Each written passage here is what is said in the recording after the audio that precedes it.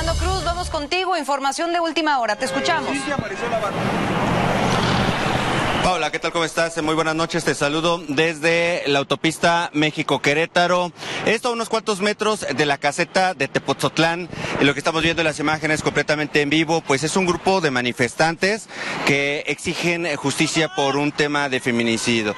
Tuvimos la oportunidad de platicar eh, con uno de los manifestantes y nos comenta precisamente que eh, pues eh, un sujeto habría causado el feminicidio de una mujer identificada como Juanita N. A primeros días de este mes. Sin embargo, fue detenido precisamente este sujeto identificado como Juan N y fue ingresado precisamente a un reclusorio estatal. ¿Qué es lo que ha pasado y qué es lo que ha causado la molestia precisamente de estos manifestantes y que han mantenido pues cerrada la autopista México-Querétaro, la caseta de Tepoztlán? Apenas han abierto para pues liberar un poco el flujo vehicular, sin embargo, las afectaciones son kilométricas. Pues bueno, nos comentan eh, precisamente que una jueza del Poder Judicial pues autorizó la libertad de este sujeto al pagar una fianza de 400 mil pesos. Aseguran que esto es como medida cautelar, pero tienen miedo. ¿Por qué? Porque tienen miedo que este sujeto salga y pueda seguir causando daño y pues no se le haga justicia precisamente a esta víctima de nombre Juanita N. Tuvimos la oportunidad de platicar con el hijo precisamente de la víctima. Escuchamos lo que nos comentó.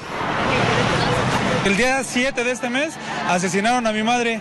A su asesino lo agarraron con las las pruebas, pistola, el vehículo donde la, donde la mató, la, lo detuvieron cuando este, la dejaba en una maicera, en un, maizal, y lamentablemente la juez le, fiscó, le, dijo que con 400 mil pesos podría salir este, libre bajo fianza. Lo que espero es que no le revoquen la fianza, porque no es justo que personas así con tanto, con tanto dolor los dejen salir.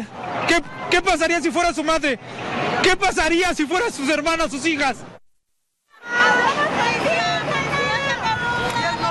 Ya lo escuchamos eh, con lágrimas en el rostro, pues exige justicia precisamente para que este presunto feminicida permanezca en prisión y no obtenga estos beneficios, los cuales pues, le fueron otorgados por una jueza de control. Hace unos momentos liberaron precisamente, ¿por qué? Porque han liberado y han dejado las plumas arriba en dirección hacia la zona de Querétaro. Pues bueno, para liberar un poco el flujo vehicular, ya que aseguran las personas que van a llegar hasta este punto para realizar una mesa de trabajo pues están a todas en el tráfico. Reitero, son más de 10 kilómetros. El tráfico llega desde la caseta de Tepoztlán hasta el perímetro de Perinorte. También afectado eh, lo que es eh, periférico norte hasta Perinorte. Hasta ahí, hasta las bodegas outlet, está el tráfico y también se ve afectada la chamapa lechería. Por eso es que permitieron el flujo vehicular para que lleguen hasta este punto, pues autoridades y puedan entablar una mesa de trabajo y finalmente puedan retirarse. Aseguran, no se van a retirar hasta que lleguen estas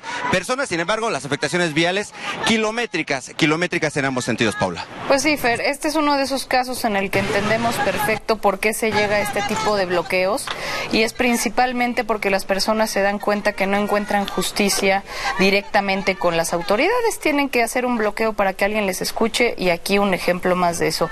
Muchísimas gracias por todo este informe y vamos a seguir muy pendientes de la familia. Gracias. Claro, sí, quedamos pendientes. Muy buenas noches. Buenas noches. Está mi compañero Fernando Cruz.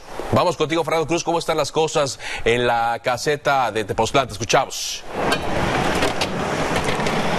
Carlos, pues una buena noticia para nuestros amigos automovilistas que llevaban parados cerca de cuatro horas en la autopista México-Querétaro. Pues han estado avanzando, ya lo estás viendo en sus imágenes, y es que han decidido abrir más eh, carriles, más garitas a estos manifestantes, precisamente para permitir el flujo vehicular.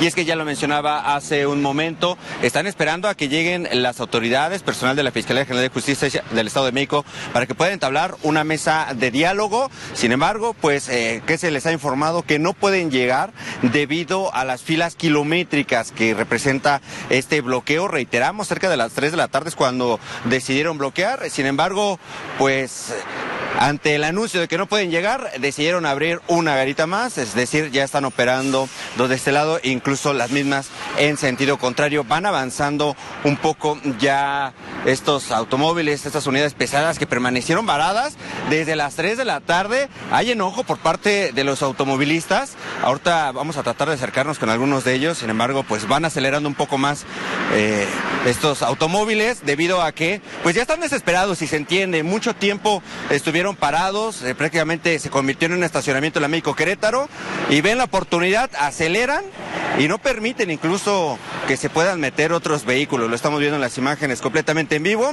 Solamente genera un poquito de tráfico pasar la caseta, sin embargo ya en dirección a Querétaro está completamente libre y en dirección hacia la Ciudad de México lo estamos viendo aceleran precisamente las unidades que van precisamente a llegar hacia la zona centro del país. Severo caos vial, eh, complicada la situación y lo estamos viendo en estos momentos completamente en vivo, Carlos. Así las cosas desde la caseta de cobro T4 de Tepoztlán. Todavía no llegan las autoridades, sin embargo la buena noticia es que han permitido ya el paso de los vehículos. Lo que sí es que está llegando más presencia policíaca. En la imagen se alcanzan a apreciar las patrullas. Hace unos momentos teníamos solamente tres unidades y van llegando más de la Guardia Nacional. Sí, es que conforme llegaba la hora pico, el caos se hacía mucho, mucho mayor y era necesario también su presencia, pero bueno. Gracias. Quedamos pendientes.